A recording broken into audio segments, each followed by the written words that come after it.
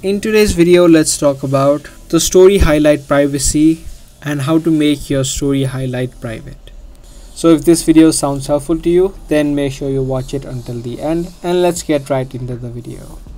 Now whenever you try to add in your story highlight by tapping on this plus icon, you can either pick the highlights from your previous stories or you can also add it from your gallery.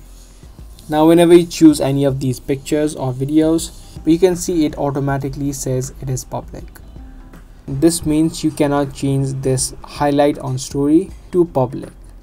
This is a default feature of Facebook and there is no option of setting it as private. The only thing that you can do is set your story to private. So whenever you tap on add your story, you can pick your story and tap on the privacy option on the bottom left now either you can hide story from specific people or you can also add in custom people. So this way you can make your story private. But for the case of the story highlights, you cannot do that. They will be made public. So that was the video. I hope you guys found this video helpful. If you did, be sure to subscribe, share and also give this video a thumbs up.